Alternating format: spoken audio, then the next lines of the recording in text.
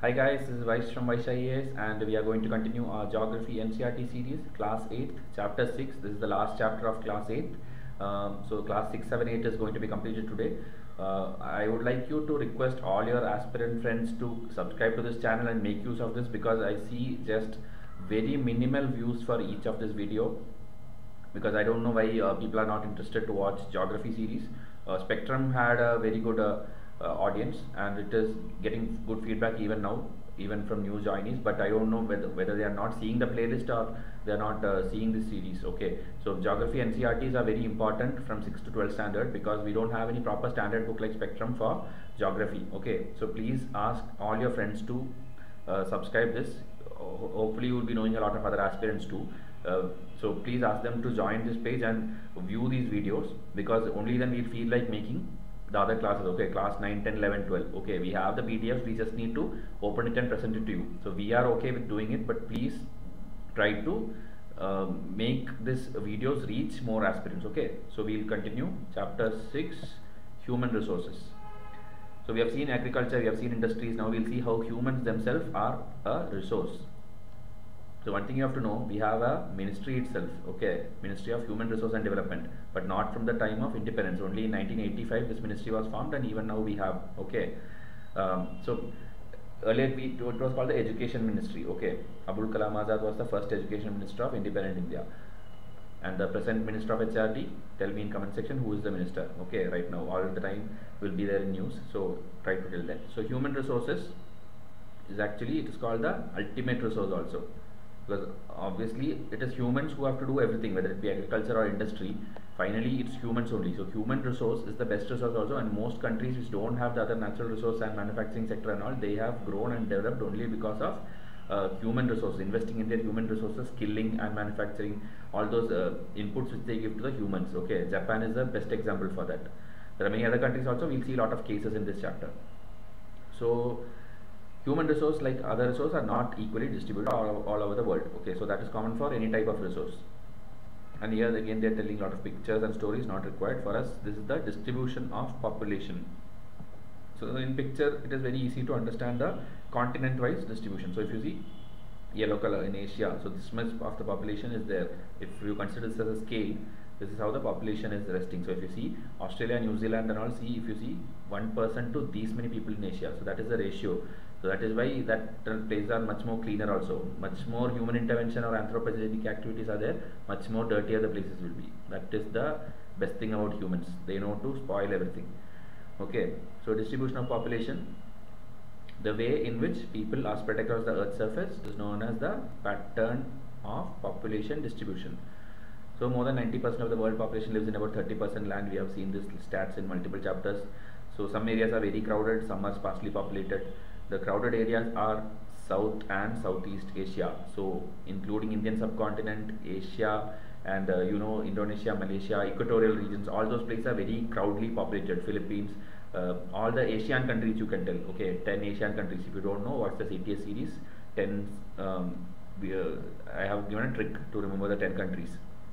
Okay, so that is about a general uh, level. Then Europe, Northeast, North America, these places are also having dense population. Okay, very few people live in high latitude areas. Okay, tropical deserts, high mountains, and equatorial forest. Many more people live north of the equator than south of the equator. South of the equator, you know all those already. Like there is more of water bodies than land. Okay, 60% of the world's people stay in just 10 countries.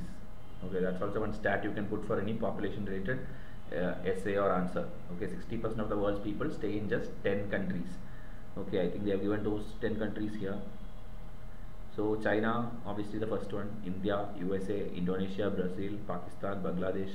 So India Pakistan Bangladesh. So see SAARC countries are almost there. Japan Russia is there. Nigeria Africa is there. So almost every continent except for Australia it is not there. Okay I think Europe also it is not there in the top 10 okay density of population. So average density of population in India is 382 persons per square kilometer. It would have again increased.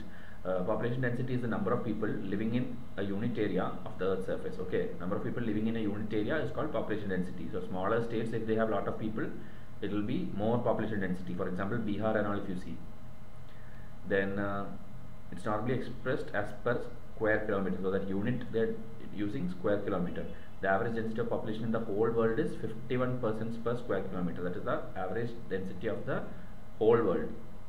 South Central Asia has the highest density of population followed by East and Southeast Asia. Again South Southeast Asia and all too much population. This you can make a note factors affecting distribution of population. It is framed in a UPSC answer model only with different type of headings geographical factors economic factors social factors. So try to make a note. Factors affecting the uh, population are uh, topography. That is the uh, whether it's a plain whether it's a mountain whether it's a plateau that will decide people population. You obviously know plain river banks and all they'll have more population. The Ganga plains are mostly dense most densely populated areas of the world while mountains like Andes Alps Himalayas are sparsely populated. That you know when you go to Kashmir or uh, uh, Sikkim Valley and all population would be less but uh, in other plain regions it is more.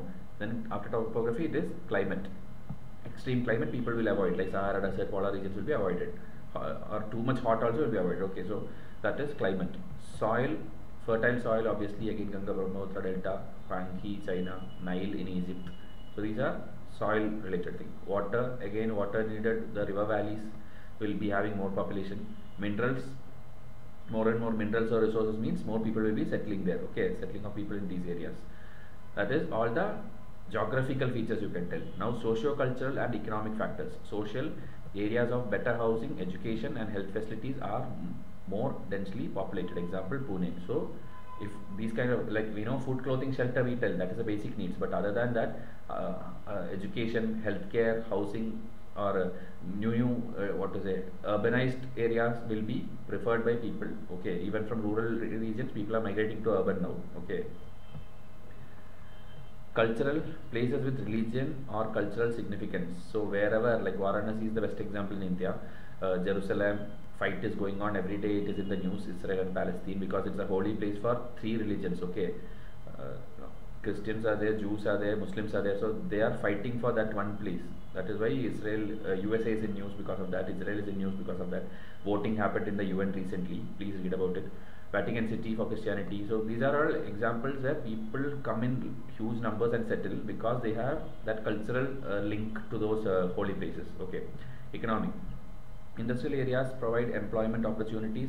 Large number of people are attracted to these areas. Osaka in Japan and Mumbai in India. Mumbai, you know, it's like the uh, industrial capital. You can tell. That is why more population is there in Mumbai. Okay, but because it's a little bit of large size, we don't feel that one. Population is there obviously, but it, anyway, it's not very small like Bihar and all. Okay, life expectancy. It is the number of years that an average person can expect to live. Okay this chapter actually can be part of society also that is a gs1 syllabus society. Okay so try to relate whatever we learned with the gs1 paper. Uh, i am telling for mains prelims anyway every chapter is important. Life expectancy is the number of years that an average person can expect to live. Population change population change refers to the change in number of people during a specific time. Okay? This is not not important just by like century by century they are telling how much population is increasing. Okay? Just to make uh, small children understand. This is actually due to changes in the number of births and death. Okay, for an extremely long period of human history until the 1800s, the world's population grew steadily but slowly. Okay, till 1800 it was steadily but slowly. Large number of babies were born, but they died early too. Okay, that time. Even though many people were uh, getting born, many were getting uh, dead also because the technology was not developed, healthcare was not that was developed. Lot of epidemics were there, uh, famines were there, so problems were there. People were dying also uh, okay same thing what I told so total increase in population was very low up to 1800s in 1804 the world's population reached 1 billion uh, 150 years later in 1959 the world population became 3 billion. In 1919 40 years later it became 6 billion. So if you see the population is going on increasing okay? When years are now it's rapid. After 1800 it's becoming very rapid. Births are usually measured using the birth rate the number of live birth per thousand people. That is birth rate. Again the number of deaths per thousand people is death rate. So just thousand people that is the uh, base they are using. Okay birth rate death rate. Then migration is there. Another thing which decides the population change that is uh, people moving in and out of an area. You know uh, global migration report has come recently uh, and uh, in that india is the country uh, of, where migration happens the maximum that is outside. It's going away from india. People traveling from india to outside india is the maximum count that any country uh, is uh, having migration rate. Okay? And most of the Indians are going to the Middle East, especially UAE, okay, United Arab Emirates, Dubai, Abu Dhabi, and all those places. Okay, births and death are uh, natural causes of population change. The difference between the birth rate and death rate of a country is called natural growth rate. Okay, the difference between birth rate and death rate is called the country's natural growth rate.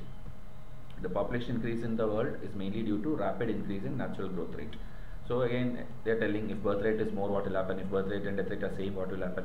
Birth rate is uh, less than death rate. So they are telling population will increase, population will be steady, population will be increasing and decreasing. Okay, so this is the image representation. Immigration when a person enters a new country. Emigration when a person leaves a country. Okay, you know in passport and all we have is immigration, immigration and all. So coming in is immigration, going out is emigration.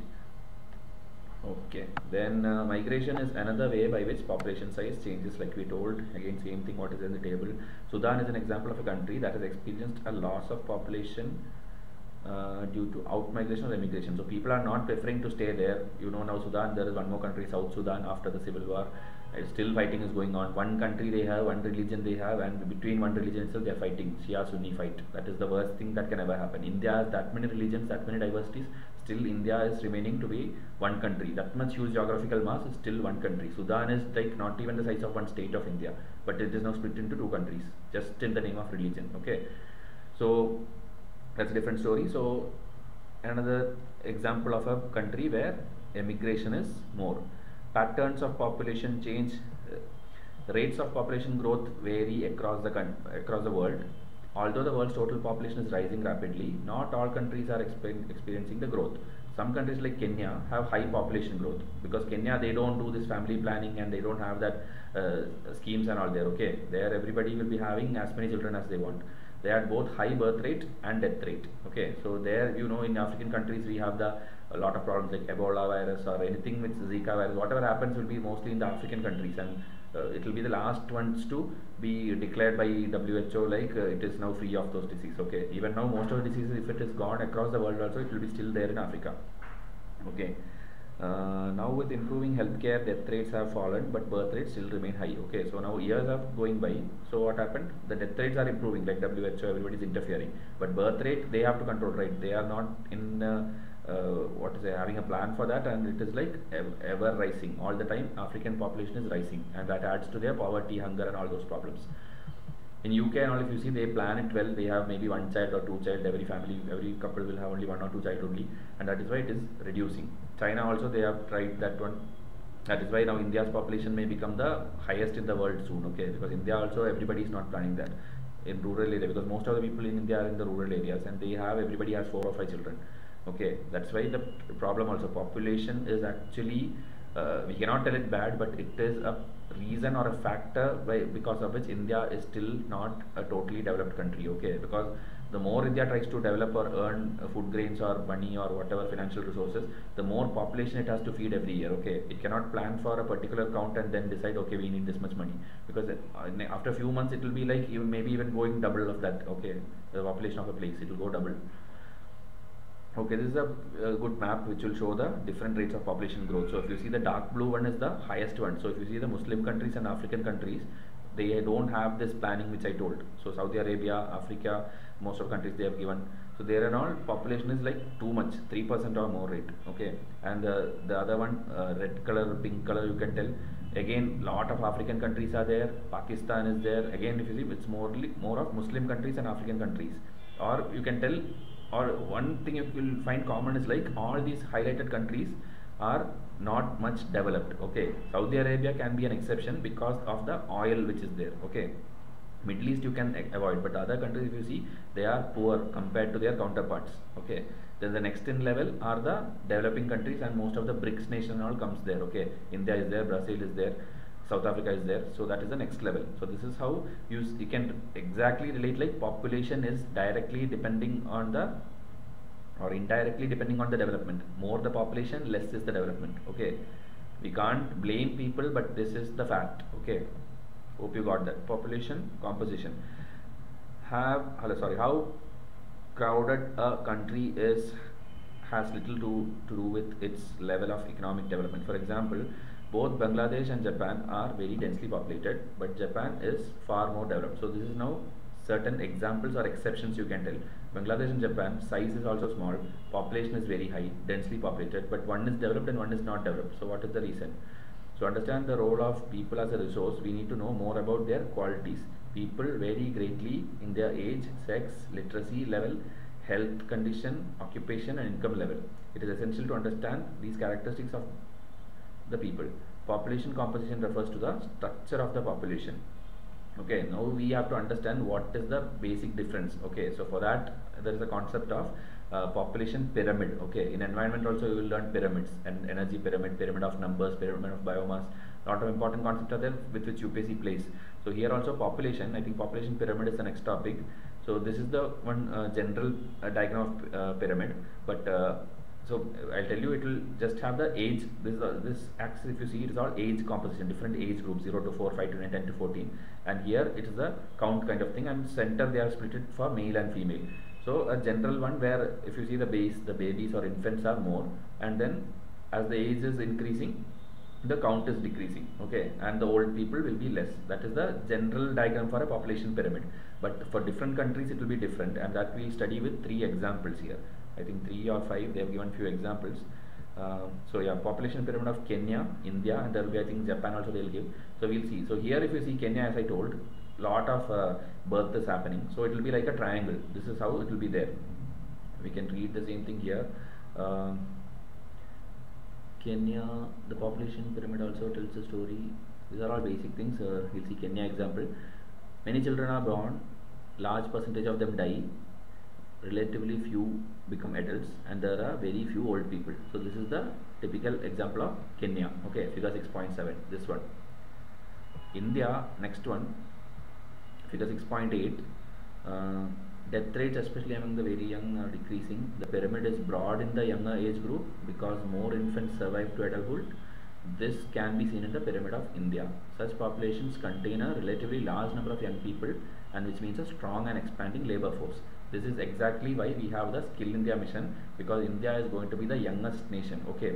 Because birth is kind of controlled and it is like everybody is of the similar age group you can tell or more of youth is there okay? No other country you will find or no other place you will find where it will be like this in this this format okay? Youth is increasing. Earlier japan and all used to be like that but now the birth control has happened and then so the base will be becoming lower. So if you see this picture japan here the base is reducing okay? That means their population is aging okay?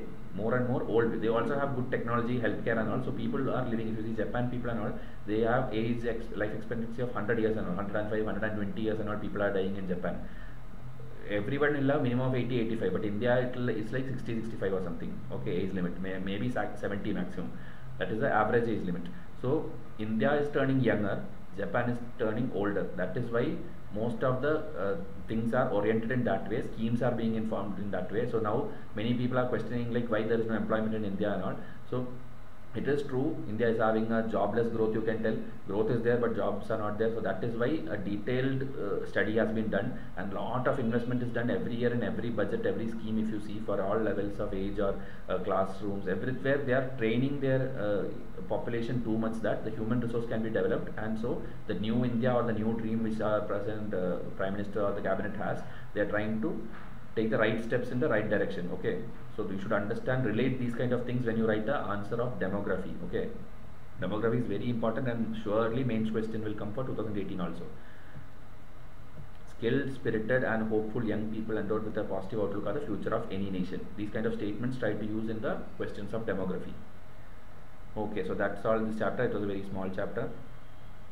Questions which does the term population distribution refer to how population in a specified area changes over time the number of people who die in relation to the number of people born the way in which people are okay the way in which people are spread across a given area. What are the three main factors that cause population change? Birth death and migration okay. Population change is decided by birth death and migration.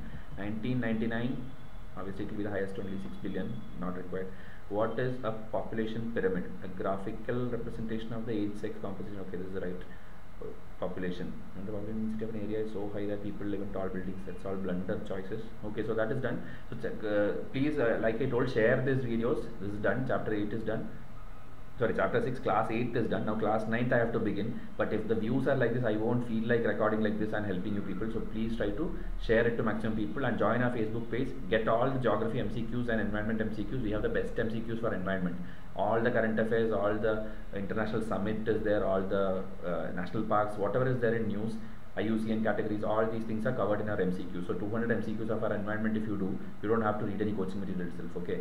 So that is uh, the quality. So contact us in our Facebook page. So till we come up with our next video, thank you and have a nice day.